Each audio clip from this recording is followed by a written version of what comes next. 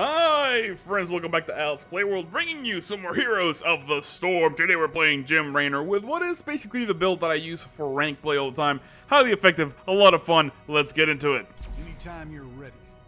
Welcome to the Tomb of the Spider Queen. Enemy team Johanna, Nazeebo, Falstad, ETC, and Valla. Friendly team Zeratul, Rexxar, Murky, Gazlowe, and Raynor. What is this? Alright, this should be interesting. Um, Okay, let's see what they got. Joe, False is going to be a problem. Vault is going to be a problem. And we are going to try to gank some people. No healers, so interesting enough. Okay. So the first time we're going to be picking up is going to be Give Me More. Seasoned Marksman is a legitimate choice, but we do not have a healer. I want to stay alive, so that's going to make our Adrenaline Rush healing increase by 50%. Uh, that is our trade. We can't activate it, but after we get below 30% health, we heal dramatically. Of course, there's a long cooldown, so you want to make sure you're keeping an eye when you have that and when you don't to do certain engagements.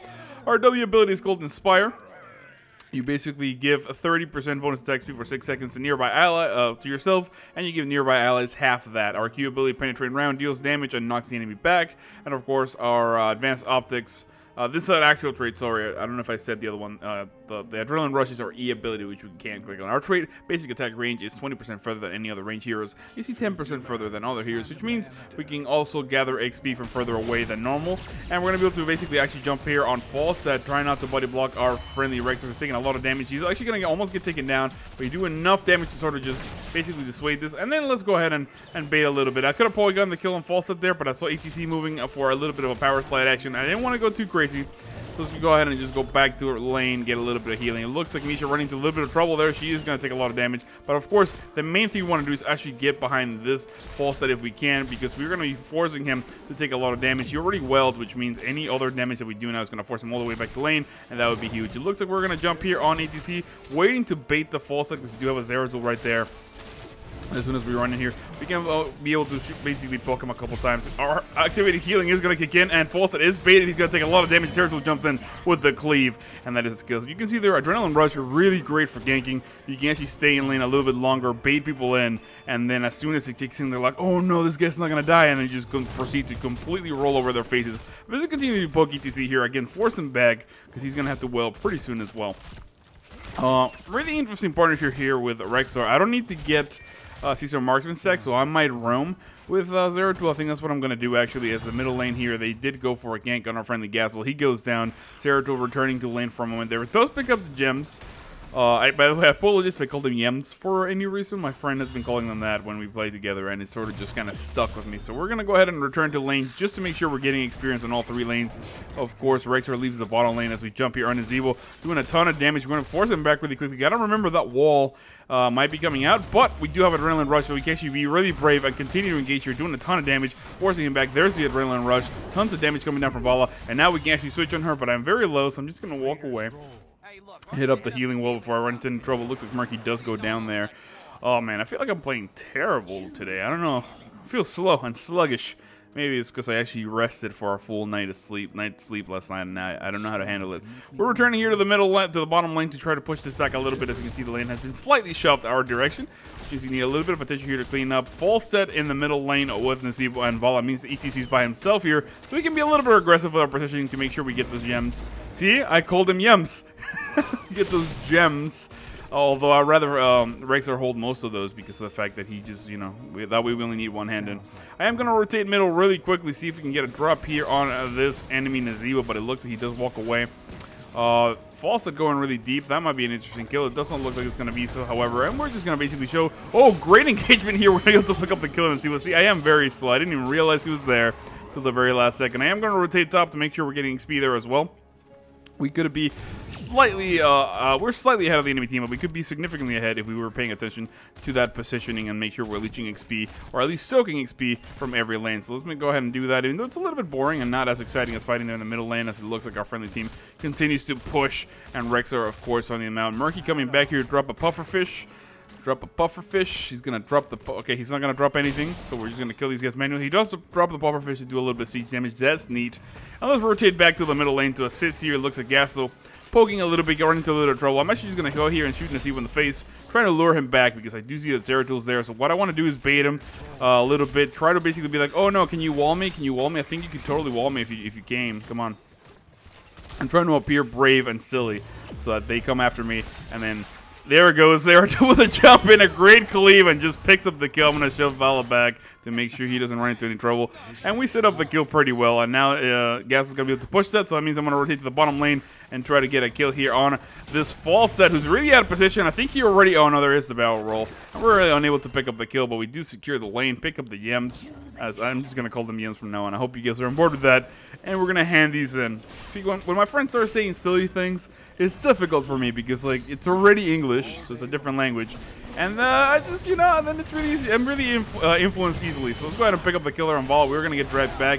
Our healing is going to kick in right now. We're taking a lot of damage. So we're going to be forced back. Those spiders are going to chase us. However, we do run them into the minions, and they stop pursuing us.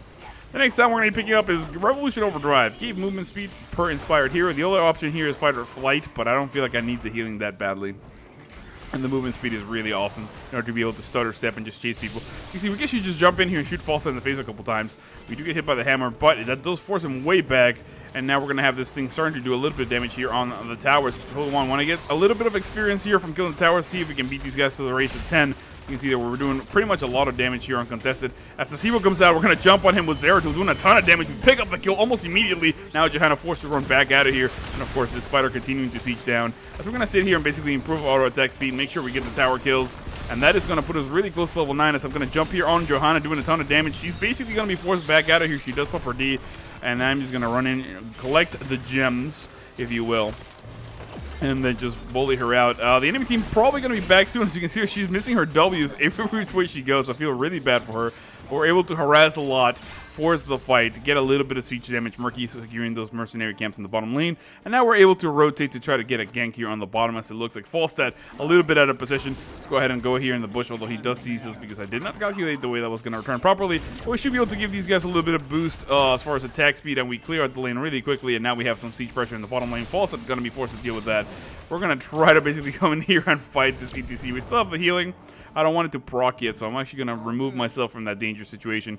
Uh, maybe rotate the top because I want to make sure that we get another kill here with the Zeratul if the time presents itself. We're almost level 10. Might as well try to soak that though. So I will rotate. If you see somebody, we'll jump on him. If not, I'm going to go to the top lane and make sure that we're just getting the most XP that we can from every which lane so we can beat the enemy team to that level 10 get that XP advantage and maybe force a fight while we have heroic abilities. This is level 10. Looking at their team comp, I think I'm going to go for Raynor's Raiders.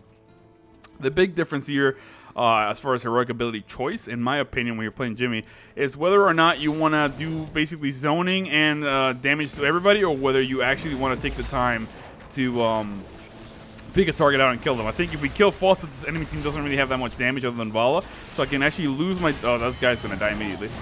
I can actually lose most of my damage on uh, on Valla and kill her, or basically force the fight against Falsa. It looks like we're going to actually go in here. Well, I, I, got split a little bit. I wanted to go after Valla. It's actually summon the Raiders. They're going to go after her and do a little bit of damage there and poking. I'm actually going to turn them back around against Johanna. Try to do a little bit of damage. Maybe not the best opportunity. Great stun there by Misha, and that's going to be a kill thanks to the Raiders. They're going to continue to push on here and begin to attack ETC and then just be a complete nuisance. So we're going to macro them back a little bit out of fort range and then back in into ETC just to make sure we're doing as much damage as possible. And then, of course, pull back a little bit. And then they're going to run out. We do pick up another kill there on Nazeebo on the bottom lane. Let's go ahead and hand more gems in. I'm definitely never going to... I'm going to say that like in a, in a different context. And, uh, and everybody's going to look at me and not say anything because it's like, oh, he's foreign. I guess he doesn't know how to say it. Uh, stats-wise, we do have 10,000 hero damage. Guess with 12,000, rather impressive. Is he going laser? He's not going laser. He's going auto turret build. It looks the enemy team completely okay with letting him do that. We should push this middle forward because of the fact that we're level 10. They don't have it yet, so might as well get a kill on it. As he was going to come here and probably land a wall. He does not. For the moment we're just going to harass him. It looks the enemy team about to get level 10. Let me go ahead and back up because that Johanna might come with a stun. She does pop her really prematurely, though. It puts her in a lot of trouble, but she does manage to walk away at the last second. They're level 10.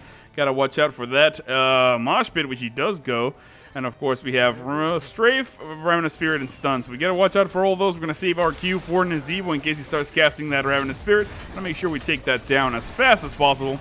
We're to just basically continue to sit here and trade. Murky doing a great job of grabbing Mercamps. And the enemy team not really doing much else. They might be wanting to hand in, but for the time being, we're doing pretty well. And of course, Misha gathering those gems for um, for Rexxar means that we can actually send her in, poke, grab the gems, and not really risk of losing any. And we're just going to continue to be here. It looks like uh, Johanna wants to come in here. We're going to poke her a little bit just to dissuade the push. Zeratul coming in with a great VP. Let's go ahead and engage right there on Johanna. We're going to switch to this uh, Nazeebo as fast as we can, and then of course we're gonna put the Raiders, uh, Raiders on her, on him. That's gonna secure the kill, and then of course switch here to Johanna we can get the kill. Jumping here on Falstad to try to do as much damage as possible. Our healing kicks in, however, Valla doing a ton of damage. Uh, we can actually save them. we could have saved them a little bit earlier. I wasn't really paying attention. Uh, so we can basically interrupt ETC's ult, but we're going to be able to do a ton of damage. Our web weavers are going down, and we're going to force this way back. Again, I apologize for the gameplay. I feel like I'm not as smooth as I should be. But uh, it seems to be doing well enough as we do have 14,000 heal damage done. The next time we're going to be picking up Double Barrel, Penetrating against a second charge. That's going to help us interrupt that Nazeebo ultimate, that ETC ultimate if we see it. And of course, it's going to build up better in the end. Let's go ahead and jump here on Valla. She's going to take a lot of damage. She knows Zeratul is coming. We don't have healing, so I can't be too cute. Zeratul is going to do a little bit of damage, and I'm going to be able to basically back them away from him, save his life. Our healing does kick however, the cooldown immediately used because of the fact that we were so low. It looks like we did have a pretty decent push here in the middle lane. The bottom lane, we are we did get a fort. And Falstad somehow died, so that's all bonuses. It looks like uh, Zeratul running into a little bit of trouble there. I want to babysit him because he's by far the most damage we have. We're going to try to engage here on this ETC, just basically harass him a little bit, poke him, and send him his way so he doesn't harass our Rexxar, who has 10 gems, and of course we don't want him to die. The bottom uh, push still going pretty strong. We do get the top four thanks to Murky's persistence, and of course we're doing a ton of damage here on these guys. Continue to poke him, continue to annoy them, and as soon as they get a little bit close, we're just going to basically shoot him back. It looks like Rexxar is backing up. I am okay with that decision. Let's go ahead and do that as well. Signal to Murky that he should walk away because he does have 20 gems and we should be able to hand those in. The enemy team only 8 away from a first hand in, but it looks like ETC is the one who's carrying 29. So if you get a kill on him, that'd be huge. Looks like Rexxar saying that as a second time. He's doing pretty well. Let's go ahead and give him a round of applause. Big shout out to our Rexxar player, Equitum. I hope that's how you pronounce it. Uh, pretty good job, sir. I'm not gonna I'm not gonna lie. You're doing all right. It looks like we're gonna try to engage here. Um, here comes the gravitron bomb. Uh, we're not gonna be able to, be able to do much. Uh, it looks like Nazeebo was right there. Let's go ahead and just mush him to the side. That interrupts the cooldown, and we're going to be able to just come in here and shoot him. ETC gets trapped in that wall. He can't really put it back up because he's already dead.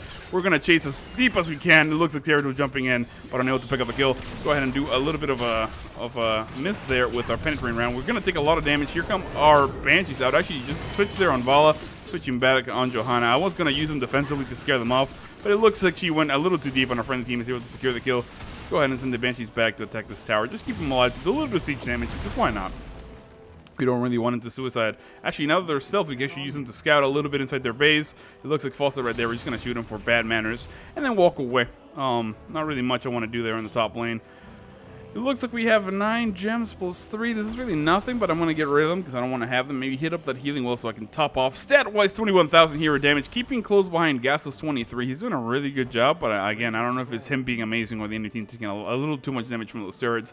And of course, the enemy team, Valla, 17,000, 14 kills to 1. The poor unfortunate soul was Gastos. Murky hasn't even died a whole death. He's only died twice. Puts him at 0.5 deaths. Of course, you have those mercenaries in the bottom lane. ETC still in the middle which means he's not handing in, which means we're not really worried about it. Let's go ahead and kill the majority of these guys. Continue to accumulate gems, and the enemy team basically conceding the game at this point by not coming out here and trying to force something, either a hand in. I'm, I don't know why I tried to hand in right there. Maybe it was subconscious. It looks like Johanna is going to try to come in here and basically secure the hand in for our friendly ETC. We're just going to shoot her. We're not going to let her do that. It looks like great engagement there. So we're going to pick up Bullseye. First enemy hit by Penetrating Round is going to be stunned. We probably want to do that right now on ETC because he's actually quite scary. We do manage to get out of the way, although we did miss that. We're going to engage from behind. The turret's doing a ton of damage. We're basically going to basically shove him in here. Great Gravitron Bomb, followed by my stun. That's going to be a kill almost immediately. We're going to try to come in here. Oh, great engagement there. We do call out the Banshees, which are going to begin to chase Johanna. We're going to be able to stun her really quickly, and that's going to be yet another kill. And then we're going to send the Banshees after uh, Nazeebo, because why not? You know what? Why not, I say. They're going to begin shooting him. He's going to be uh, basically a little bit worried there. He's going to back away. And I'm going to try to defend these Giants, because of course they do siege damage and I think it's important that we try to kill these towers before we kill the Giants, get the most use out of them as we can. As you can see, that we're going to get some more experience, further the three-level lead. Man, this game is becoming to be really, really one-sided in quick match uh, nowadays. Uh, actually, to be fair, in ranked, is, is almost feels just as one-sided. It's just sometimes you get stumped, and sometimes you are the one doing the stumping. Looks like we should be able to secure a kill here on the keep. Even if we die, not a big deal. I mean, Rexxar has 24 gems. Uh, let's go ahead and suggest that he, hand, that he hands in and then just basically continue to push here. Punish. It looks like Falstad going really deep there against Zeratul. We're trying to lure them in. Uh, we're not really going to be able to finish the game right now. So might as well just destroy the healing well, just be rude, and then walk away. It looks as Zeratul wants to go turn in, which means we can continue the pressure here. Johanna trying to flank to the side. Maybe she's trying to go in for a turn in. No, she's not. She doesn't have any gems. I forgot we killed her. We're going to jump in here. She, her shield does pop up. The reason why I'm focusing the tank, you might be wondering why I'm doing that, is just to basically get a little bit more damage and force her way back and uh, force that D. If he uses the shield immediately when she first engages us, we're going to go in here and just move Nazeebo back to make sure he stops that nonsense. We're able to retreat, no problem. And of course, we have the next uh, web we were spawning. Murky on the top lane, destroying the last of the fortifications. It's going to allow these pushes to be really strong. Uh, I don't know what to do here. I think we're just going to continue to pressure the enemy team right at their base. There's really not much else of a move to do other than continue pushing methodically. And of course, we're going to shove in there a little bit. What I really want to do... Oh, great engagement here. The Gravitator Bomb is going to be huge. We're going to be able to pick up a double kill almost immediately thanks to that double stun. And of course, Pufferfish and Cleave and just might right-clicking to win. And this should be good game. Two members of the enemy team dead. We're going to come in here and try to kill Nazeebo. If we can, there go the Banshees. We're going to basically just begin to attack him, just harass him a little bit. Here comes the stun from Misha, my stun, and then the second stun in a row. And that is a kill, no problem. We secure the kill, and of course, now it's just a matter of right-clicking here in the corner. That should be good game. Saturway's 32,000 hero damage, 37 for uh, the enemy Gazlowe. He did that one time, though, so I guess uh, even though he was the MVP as far as damage goes, we did pretty well. 91,000 for him as well, siege-wise, which is huge, of course, on Zero 58. 21 kills to 1. That was quite a stump, but that was Jim Raynor. Hope you enjoyed that video. My name is Al, and I will see you all next time.